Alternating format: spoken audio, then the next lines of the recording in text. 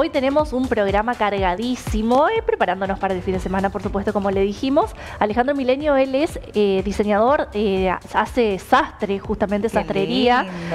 todo lo que tenga que, ver con fiestas, exactamente, exactamente. Alejandro, ¿cómo estás? Bienvenido. Hola, ¿qué tal? ¿Cómo estás? Gracias por invitarme. Bueno, muchas gracias a vos por, por tu tiempo, por venir. Contanos, recién estábamos preguntándote, ¿sos de Resistencia? ¿Hace cuánto que arrancaste con esto? soy de Resistencia, no soy de Orina, pero nací acá.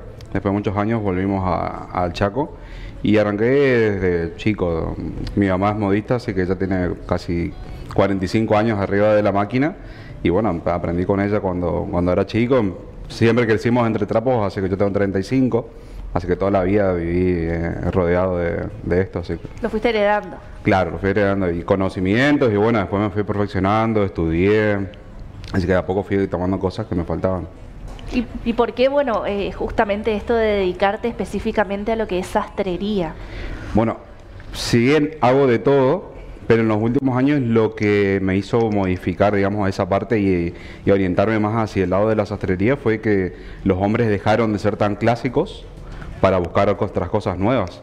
Eh, buscar colores, diferentes formas de traje, se puso muy de moda de vuelta la sastrería como era antes, pero con dos variantes, o muy clásico o ya totalmente extrovertido o totalmente fuera de lo normal, en colores, formas, texturas. Bueno, y estamos viendo imágenes de, tu creación. ¿En qué, se basa? ¿Cómo te preparas ahora? ¿Cómo, con, cuánto tiempo de anticipación te hacen los pedidos? Me imagino que debes hacer muchos para novios también, ¿no? En esas ocasiones muy especiales. La mayoría que busca eh, cosas diferentes son los novios. Sí. Y los egresados. Para no ser tan clásico, eso ya dejó de ser clásico, ¿no? Claro, totalmente. Para no ser clásico, los egresados y los novios. A ver, el novio busca específicamente como la novia, hoy en día que la novia iba, se probaba, elegía el modelo, la tela. Eh, el novio está haciendo lo mismo. Entonces no deja que la novia vea el, traje, o al menos yo por lo menos dejo que no, que sigamos esa tradición de que el novio no ve a la novia y la novia no no ve al, novio. Algunos que otros se retoman y van y quieren ver igual el color y todo, porque eh, son como mucho más detallistas y quieren que todo esté en perfectas condiciones, así que bueno, eh, eh, es inevitable en algunos casos que ¿Cuál fue el color más raro que te haya pedido un novio? morado hasta ahora. Morado. Morado. Ahí veíamos uno. ahí vimos un bordó, eh, ¿y, es difícil vestir a la novia y al novio al mismo tiempo? No, no, no, no es difícil, me, ha pasado y, he hecho varias veces. Eh, está bueno porque siempre se logra una relación como muy cercana con ambas personas.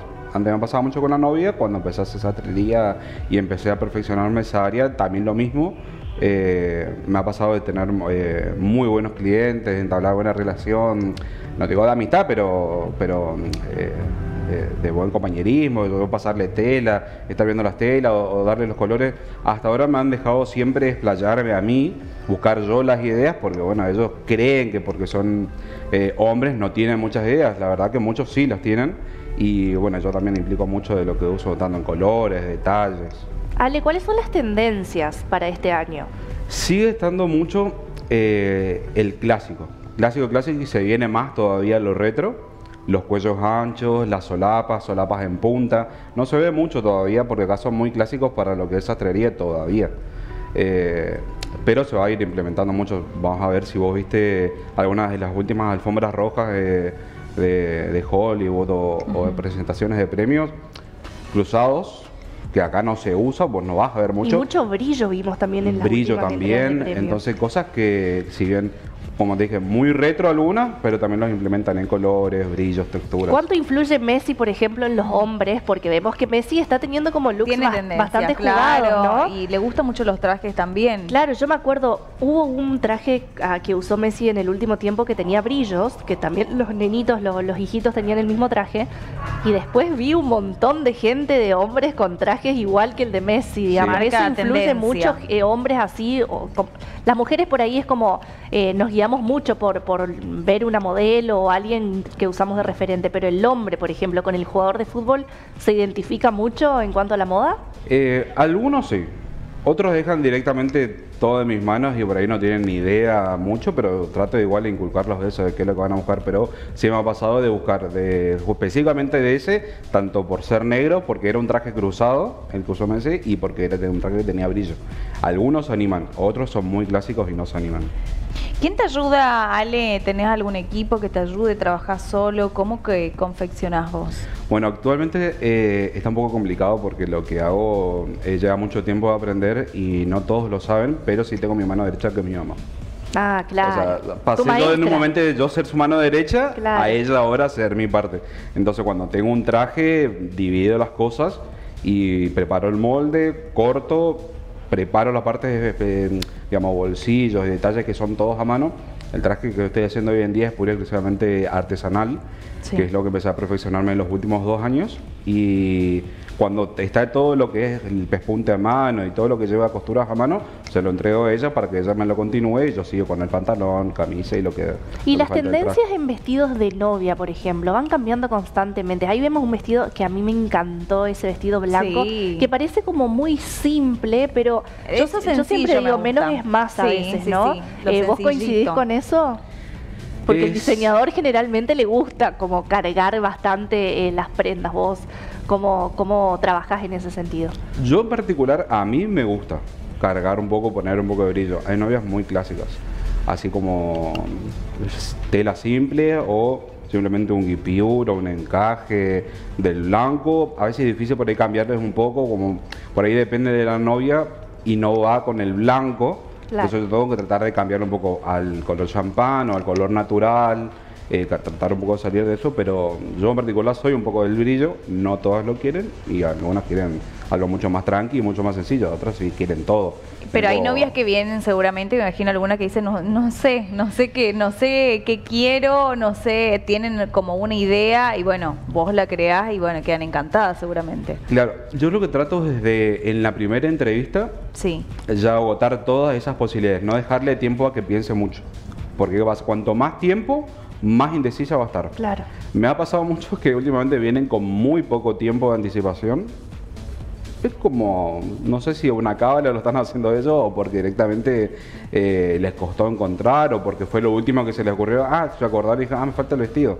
Entonces tiene muy poco tiempo de anticipación. Y hoy en día, con la economía como está y con el tema de las importaciones, es muy difícil encontrar telas acá, por ejemplo. Así que la mayoría de los diseñadores viajamos a otros lados tanto como viajamos a otros lados, también depende mucho del dólar. Entonces, eso también juega mucho eh, a favor y en contra para nosotros jugar un poco, si varía mucho el dólar, si viajamos a comprar telas y se nos complica un poco porque el precio que yo te doy hoy puede no ser el mismo mañana. Nosotros muchos van a Encarnación, yo no voy a Encarnación o, a Ciudad del Este, yo voy mucha Asunción, pero porque tengo conocidas y vendedoras de años que, que, ya me conocen y saben qué tipo de tela, o dos desde acá les, mando un WhatsApp, les digo, estoy yendo, fíjate siempre cuando conseguís tal, tal cosa, entonces yo sé específicamente dónde ir, eh, cosa que en otros lugares no puedo. Eh, porque no lo conozco. ¿Tenés algún referente? Eh, si hablamos locales, tengo muchos referentes. Hoy en día me, digamos, pude y tuve la suerte de trabajar con muchos diseñadores de acá del Chaco, eh, porque prácticamente soy el único que está haciendo sastrería hoy en día, así que he trabajado con Rolly, con Edufier, con Gustavo Pucheta. hoy en día la sastrería de, de Gustavo Pucheta prácticamente la hice yo. Eh, en, confección, digamos. Y obviamente con los diseños de él están todos los detalles y yo soy el ejecutor, digamos, de eso. Y externos, y tengo unos cuantos, por ahí de la facultad me han salido eh, Schiaparelli, que es una marca eh, europea, que, juega mucho con el surrealismo y de ahí que tengo tatuado un Dalí acá en el brazo, justamente porque cuando estaba estudiando me gustó mucho eso. Si bien no aplica mucho a lo que yo diseño, sí. pero, pero me gusta, es un movimiento súper eh, emocionante para ver. Y ahora ya estás trabajando, Ale, para, para recepciones, ya estás tomando, me imagino, pedidos, porque bueno, tenés que cerrar tu agenda para, para poder comenzar a trabajar en lo que se viene, ¿no? O desde cuándo inicia tu temporada alta, por así decirlo, que empiezan las recepciones, fiestas, casamientos eventos importantes? Y la verdad que todo el año. Yo todo el año, tengo, mucho trabajo porque mm, eh, básicamente lo que hago no, no lo hacen muchos acá, o por lo menos en la zona.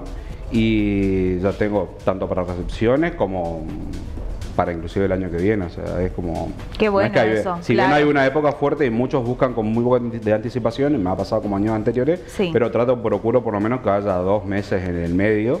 Y si bueno, si es menos, bueno, se ve todo. Con, con dinero se ve todo en el camino así. Claro. El, Ale, ¿el vestido de novia se puede volver a usar en otra ocasión?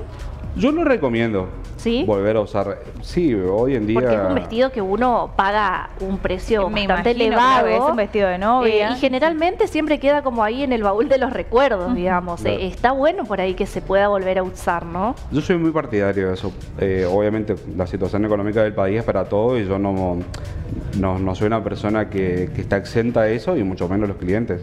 Y muchas personas van y me dicen, bueno, yo tengo tal tela o tal otra y muchos no quieren trabajarlo por el hecho de tener que volver a trabajar con una prenda que ya se utilizó.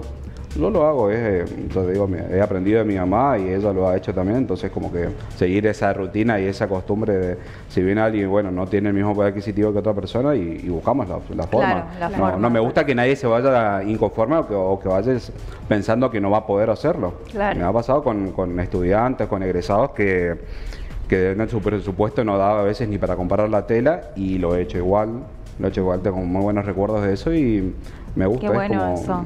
No, no, no soy una persona que, que va que va a rechazar dinero de trabajo porque no llega a lo que nosotros Claro, cobramos. Claro, bueno, pasa, es, pasa. importante, no, además, bueno, el trabajo que hay detrás, ¿no? De, de- de todos los diseñadores y to- todo lo que realizan, eh, así que, a ver, cuando uno va, a- sabe que va a tener que abonar algo, Claro. un presupuesto, pero bueno, qué bueno y qué bueno de, que- de vos también que lo hagas y en caso que no llegue para un egresado, porque sabes que es una noche esperada, una noche soñada, de que algo que no se va a olvidar.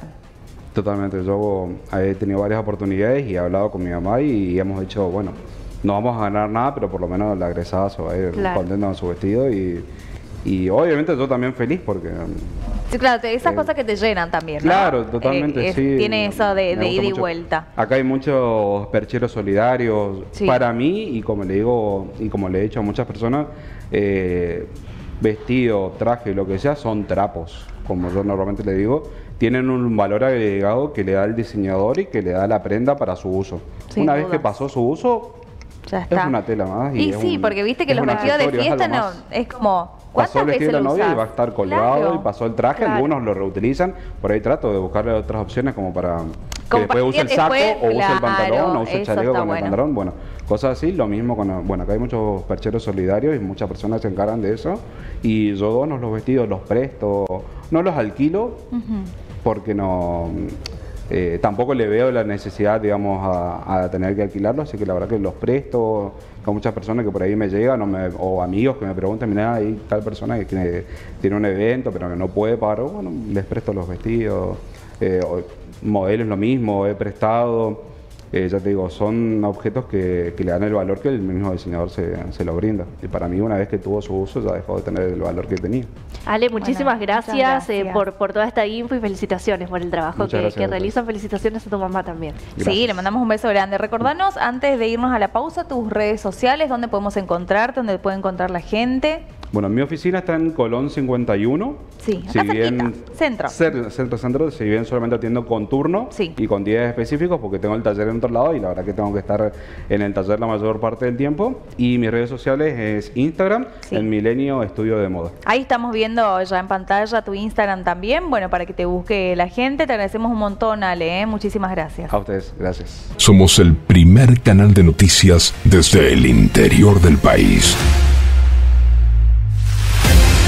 Transmite desde el histórico Chalet Rapacioli, Resistencia, Chaco, Norte Grande Federal. Somos periodismo con historia.